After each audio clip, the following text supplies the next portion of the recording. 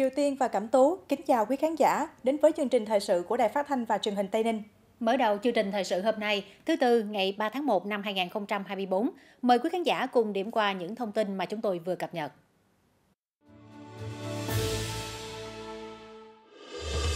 Tây Ninh phấn đấu quyết liệt để hoàn thành mục tiêu của nhiệm kỳ.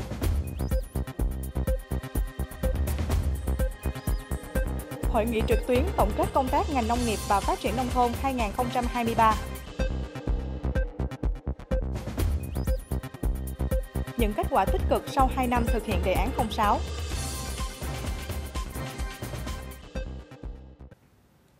Tại buổi làm việc với tỉnh ủy Tây Ninh sáng ngày 3 tháng 1, sau khi nghe báo cáo của tỉnh ủy Tây Ninh, lãnh đạo các bộ ngành trả lời giải đáp làm rõ các đề xuất kiến nghị của tỉnh. Phát biểu kết luận, Chủ tịch Quốc hội Vương Đình Huệ đề nghị Tây Ninh khẩn trương có chương trình, kế hoạch, đề án cụ thể, triển khai quy hoạch tỉnh thời kỳ 2021-2030, tầm nhìn đến năm 2050. Chủ tịch Quốc hội Vương Đình Huệ nhấn mạnh, đó chính là hồn cốt, nền tảng quan trọng nhất của văn kiện đại hội tỉnh đảng bộ nhiệm kỳ tới. Trong đó, tập trung vào ba vùng phát triển, bốn trục động lực, một vành đai an sinh xã hội. Với giải pháp bảy đột phá phát triển của tỉnh bao gồm phát triển hạ tầng, phát triển nguồn nhân lực, thể chế, phát triển doanh nghiệp vừa và nhỏ, phát triển bền vững, Tây Ninh xanh, phát triển du lịch, phát triển kinh tế dịch vụ. Chủ tịch Quốc hội Vương Đình Huệ đề nghị Tây Ninh bám sát các nghị quyết của Trung ương, nghị quyết Đại hội Đảng bộ tỉnh lần thứ 11 và chỉ đạo của chính phủ, phấn đấu quyết liệt từ nay đến cuối nhiệm kỳ để đạt kết quả cao nhất, hoàn thành thắng lợi các mục tiêu, nhiệm vụ đề ra. Tây Ninh cần tiếp tục rà soát các chỉ tiêu, nhiệm vụ, mục tiêu và các nghị quyết chuyên đề của tỉnh để tổ chức triển khai thực hiện. Đảng đoàn, Hội đồng Nhân dân cần phối hợp với Ban cán sự đảng, Ủy ban Nhân dân tỉnh ra soát lại các thể chế, chính sách, văn bản quy phạm pháp luật của tỉnh trong thời gian còn lại của nhiệm kỳ để lập danh mục và báo cáo với tỉnh ủy. Có kế hoạch, lộ trình theo hướng ưu tiên ra soát, sửa đổi những vấn đề cấp bách. Chủ tịch Quốc hội Vương Đình Huệ đề nghị Tây Ninh lưu ý trong quá trình ra soát phải giải đáp cho được câu hỏi vì sao các chỉ số về năng lực cạnh tranh và cải cách hành chính của chúng ta đạt thấp, do còn thiếu hay chưa sửa đổi kịp thời các quy định, vấn đề nào do công tác tổ chức thực hiện. Vì sao tỷ lệ giải ngân vốn đầu tư công rất cao thuộc nhóm các địa phương có tỷ lệ giải ngân cao, nhưng chỉ số năng lực cạnh tranh, cải cách hành chính lại đạt thấp. Đây là vấn đề cần phân tích kỹ lưỡng, đâu là nguyên nhân khách quan, đâu là do chủ quan. Từ đó tập trung cải thiện một bước về năng lực cạnh tranh, các chỉ số về cải cách hành chính, đồng thời tiếp tục siết chặt kỷ luật, kỷ cương, khắc phục tình trạng một bộ phận cán bộ còn đùng đẩy, sợ sai, né tránh trách nhiệm nếu có và tạo mọi điều kiện thuận lợi cho người dân, doanh nghiệp. Chủ tịch Quốc hội Vương Đình Huệ nhấn mạnh, đây là những việc nên làm ngay. Cùng với đó, Tây Ninh cần tiếp tục làm tốt công tác xây dựng đảng và xây dựng hệ thống chính trị trong sạch, vững mạnh. Đây là mấu chốt thành công. Tiếp tục quan tâm coi trọng giữ vững quốc phòng, an ninh và thực hiện tốt công tác đối ngoại của nước bạn Campuchia theo chỉ đạo, chủ trương của đảng, góp phần xây dựng đường biên giới hòa bình, ổn định, hữu nghị, hợp tác, phát triển, ngăn chặn có hiệu quả các loại tội phạm xuyên biên giới.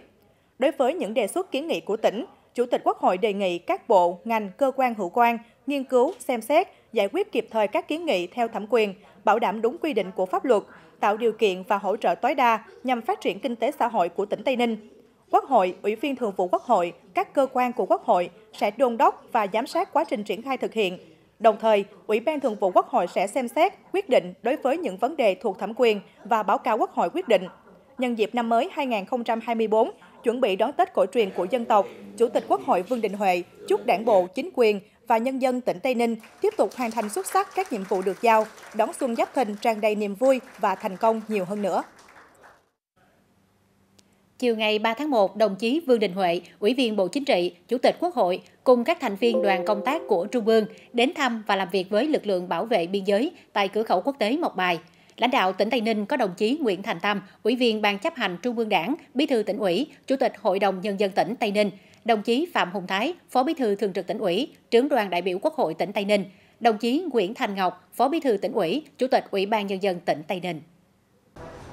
Lãnh đạo đồn biên phòng cửa khẩu quốc tế Mộc Bài báo cáo với Chủ tịch Quốc hội Vương Đình Huệ tình hình thực hiện nhiệm vụ trên tuyến biên giới và cửa khẩu quốc tế Mộc Bài – nỗ lực của các lực lượng đã đạt được nhiều kết quả tích cực, góp phần kéo giảm tội phạm trên biên giới, đảm bảo an ninh quốc phòng. Chủ tịch Quốc hội Vương Đình Huệ biểu dương và mong các lực lượng tiếp tục hoàn thành tốt nhiệm vụ, tạo điều kiện tốt nhất cho giao thương hàng hóa, thông thoáng nhưng đảm bảo chặt chẽ, tiếp tục phòng chống buôn lậu, gian lận thương mại. Để làm tốt công tác này, Chủ tịch Quốc hội Vương Đình Huệ đề nghị cần tăng cường quy chế phối hợp liên ngành, chuẩn bị nguồn lực để thực hiện các nhiệm vụ khi Tây Ninh triển khai quy hoạch tỉnh thời kỳ 2021-2030, tầm nhìn đến năm 2050. Và sắp tới đây, Tây Ninh xin chủ trương quy hoạch phát triển khu kinh tế cửa khẩu Mộc Bài theo mô hình khu công nghiệp, đô thị, dịch vụ hiện đại, xanh, bền vững. Khu kinh tế cửa khẩu Mộc Bài sẽ là một cực tăng trưởng của tỉnh và của vùng. Chủ tịch Quốc hội Vương Đình Huệ lưu ý, lãnh đạo tỉnh quan tâm nhiều hơn nữa, chăm lo Tết cho đồng bào khu vực biên giới, phát huy chương trình Xuân Biên Cương, ấm lòng dân bản, để mọi người dân đều có Tết an vui. Chủ tịch Quốc hội Vương Đình Huệ trao tặng quà cho 9 đơn vị là lực lượng thực hiện nhiệm vụ bảo vệ biên giới tại cửa khẩu quốc tế Mộc Bài. Sau khi kết thúc chương trình làm việc với lực lượng bảo vệ biên giới tại cửa khẩu quốc tế Mộc Bài, đồng chí Vương Đình Huệ, Ủy viên Bộ Chính trị, Chủ tịch Quốc hội cùng đoàn công tác của Trung ương và lãnh đạo tỉnh Tây Ninh đến thăm trao tặng quà Tết cho người nghèo của huyện Bến Cầu. Chủ tịch Quốc hội Vương Đình Huệ trao tặng 100 suất quà Tết cho các hộ là gia đình chính sách, gia đình có hoàn cảnh khó khăn ở xã Long Thuận, xã Lợi Thuận và thị trấn Bến Cầu. Chủ tịch Quốc hội Vương Đình Huệ thăm hỏi và bày tỏ vui mừng cùng sự quan tâm chăm lo của đảng, nhà nước, cấp ủy chính quyền, mặt trận tổ quốc và các đoàn thể chính trị xã hội các cấp trong tỉnh. Huyện Bến Cầu đã vận động các tổ chức cá nhân ủng hộ, chăm lo cho hộ nghèo, hộ cận nghèo, hộ có hoàn cảnh khó khăn, vui xuân đón Tết. Bộ đội biên phòng tổ chức và duy trì chương trình đoàn kết quân dân đồng chí Vương Đình Huệ, Ủy viên Bộ Chính trị, Chủ tịch Quốc hội và các đồng chí lãnh đạo tỉnh Tây Ninh cùng bà con tham quan các gian hàng đặc sản của tỉnh trong khuôn khổ chương trình đoàn kết quân dân chào mừng kỷ niệm 65 năm ngày truyền thống Bộ đội Biên phòng. Chiều ngày 3 tháng 1, Bộ Nông nghiệp và Phát triển Nông thôn tổ chức hội nghị trực tuyến tổng kết công tác ngành nông nghiệp và phát triển nông thôn năm 2023. Đến dự hội nghị có Thủ tướng Chính phủ Phạm Minh Chính, tham dự ở điểm cầu Tây Ninh có ông Nguyễn Đình Xuân, tỉnh ủy viên, Giám đốc Sở Nông nghiệp và Phát triển Nông thôn tỉnh Tây Ninh.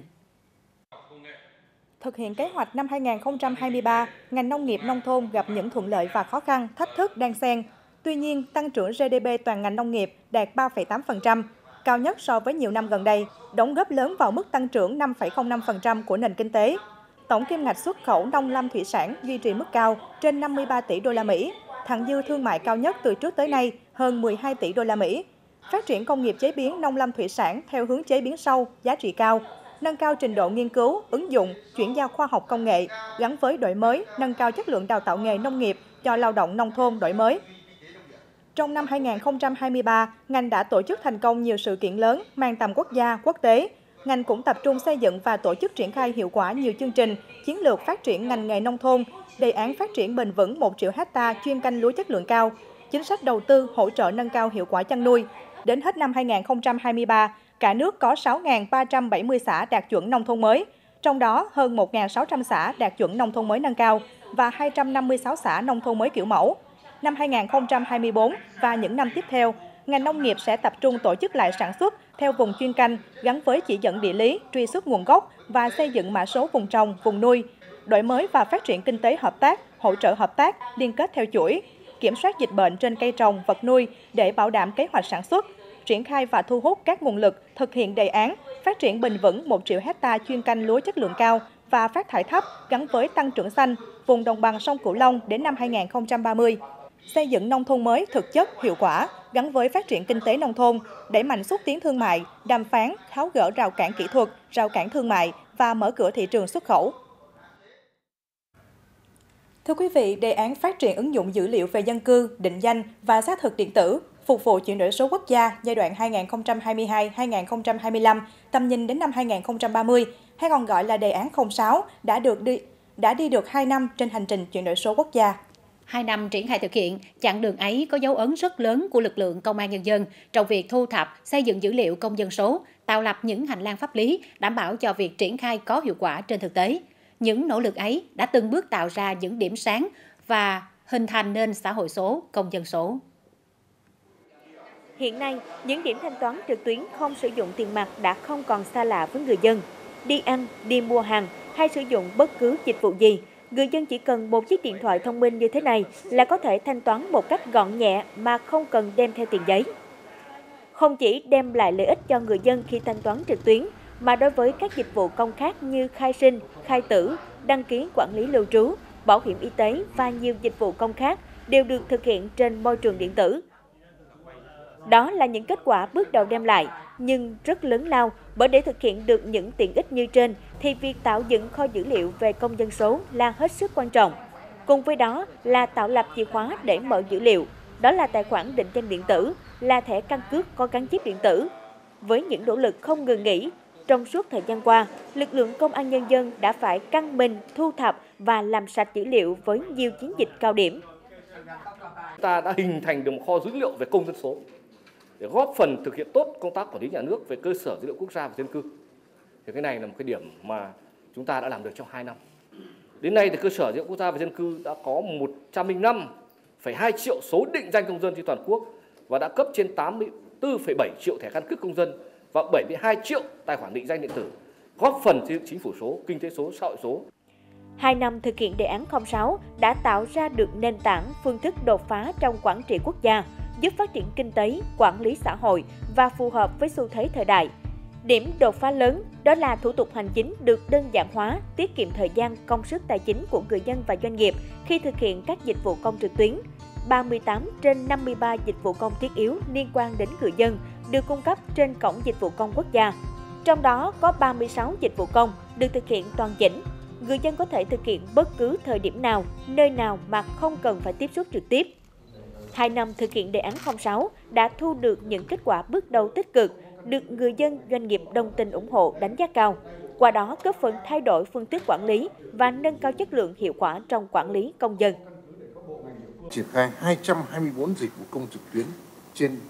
tất cả các lĩnh vực và cho đến nay thì cái hiệu ứng này rất tốt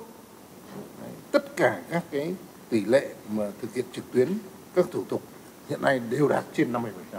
cái sự hưởng ứng của người dân trên tất cả 220 mấy cái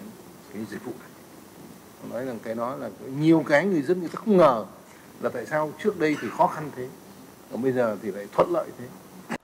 Mặc dù vẫn tồn tại những điểm nghẽn, những khó khăn trong quá trình triển khai thực hiện đề án 06, thế nhưng với vai trò nòng cốt, hai năm qua, cùng với các bộ ngành địa phương, Bộ Công an đã nỗ lực tích cực trên các mặt công tác, nhất là việc hoàn thiện hạ tầng, công nghệ và dữ liệu. Qua đó đã mang lại nhiều kết quả thiết thực trong công tác quản lý, điều hành của các cấp, các ngành, các địa phương và hoạt động kinh tế xã hội của người dân, doanh nghiệp.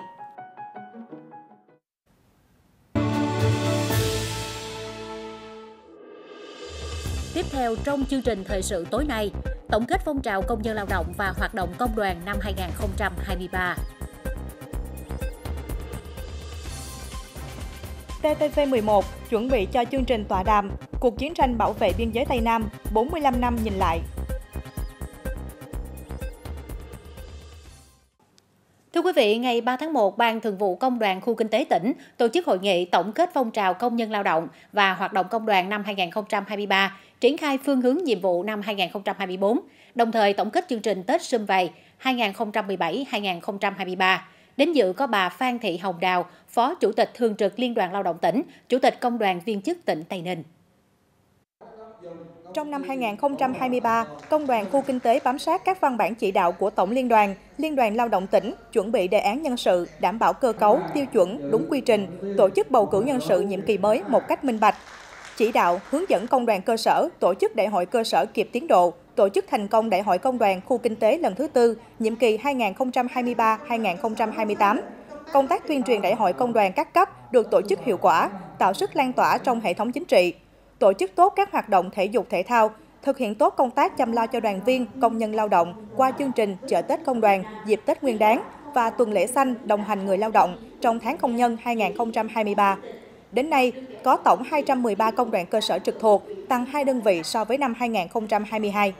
Phát biểu tại hội nghị, bà Phan Thị Hồng Đào, Phó Chủ tịch Thường trực Liên đoàn Lao động tỉnh, Chủ tịch Công đoàn viên chức tỉnh Tây Ninh đề nghị Công đoàn khu kinh tế tỉnh tập trung một số nhiệm vụ trọng tâm như chăm lo đời sống, bảo vệ quyền, lợi ích hợp pháp chính đáng của đoàn viên và người lao động trong thời gian tới. Đặc biệt, trong dịp Tết Giáp Thìn 2024, chú trọng công tác phát triển đoàn viên và một số nhiệm vụ khác. Tại hội nghị, bà Nguyễn Thị Kim Liên, Ủy viên Đoàn Chủ tịch Tổng Liên đoàn Lao động Việt Nam, Chủ tịch Công đoàn Khu Kinh tế Tây Ninh phát động phong trào thi đua năm 2024 và các công đoàn cơ sở năm khu chế xuất, khu công nghiệp trong tỉnh ký kết giao ước thi đua. Đồng thời, Ban Thường vụ Công đoàn Khu Kinh tế cũng trao thưởng cho các tập thể, cá nhân có thành tích trong phong trào công nhân lao động và hoạt động công đoàn năm 2023. Chuẩn bị cho chương trình tọa đàm trực tiếp Cuộc chiến tranh bảo vệ biên giới Tây Nam 45 năm nhìn lại 7 tháng 1 năm 1979, 7 tháng 1 năm 2024 do Đài Phát thanh và Truyền hình Tây Ninh phối hợp với Học viện Chính trị khu vực 2 thực hiện. Đến nay, công tác chuẩn bị cơ bản đã hoàn thành những khâu cuối cùng để chương trình diễn ra đúng kế hoạch. Tại hội trường Học viện Chính trị khu vực 2, đội ngũ kỹ thuật viên, phóng viên, biên tập viên, phát thanh viên của Đài Phát thanh và Truyền hình Tây Ninh đang ráo riết chuẩn bị về chỗ ngồi cho đại biểu, bố trí máy móc âm thanh, ánh sáng với những trang thiết bị tiên tiến, hiện đại, sân khấu quy mô. Chương trình với sự tham gia của các vị khách mời là những tướng lĩnh, diễn giả, nhà khoa học, nhà ngoại giao và các nhân chứng là nạn nhân của bọn diệt chủng Pol Pot Ian Sari, cùng sự đan xen bởi các tiết mục văn nghệ. Chương trình sẽ được diễn ra vào lúc 19 giờ ngày 4 tháng 1 năm 2024 và sẽ được truyền hình trực tiếp trên kênh TTV11, các hạ tần số của Đài Phát thanh và Truyền hình Tây Ninh, cổng thông tin điện tử Học viện Chính trị khu vực 2 và một số đài phát thanh và truyền hình các tỉnh,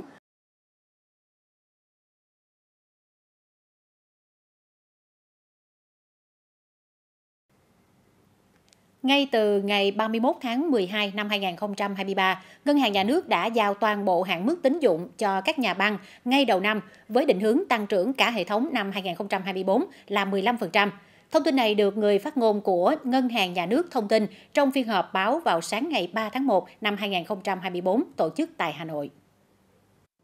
Nếu như mỗi năm, hạn mức tín dụng thường chia nhiều đợt và các nhà băng cần gửi đề nghị thì năm nay dựa trên diễn biến thực tế, Ngân hàng Nhà nước cấp chỉ tiêu tăng trưởng tín dụng định hướng và chủ động điều chỉnh hạn mức cho từng nhà băng. Đây là điểm khác biệt trong cách điều hành tín dụng của Ngân hàng Nhà nước so với mọi năm. Cái thông điệp đấy là con số mà các ngân hàng phải phấn đấu đạt được chứ không phải là giao có tính chất là quyền lợi nữa. Mà đây là cái các ngân hàng thương mại phải phấn đấu để làm sao đạt được cái chỉ tiêu này và coi như đây là trách nhiệm để chúng ta đóng góp vốn cho nền kinh tế. Công thức tính chỉ tiêu tăng trưởng cho từng nhà băng được Ngân hàng Nhà nước dựa trên các yếu tố đầu vào, gồm dư nợ tín dụng năm 2023, điểm xếp hạng năm 2022, các khoản bán dư nợ tín dụng trong năm 2024 và chưa thu hồi được tiền.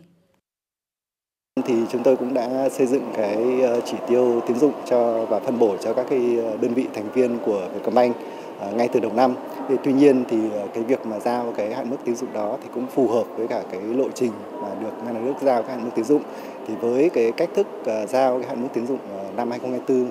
có những cái điểm mới của ngân hàng nước thì chúng tôi cũng sẽ xây dựng cái kế hoạch tín dụng và cái phân bổ cho cái chi nhánh phù hợp để đảm bảo cái sự chủ động cho cái chi nhánh ngay từ đầu năm.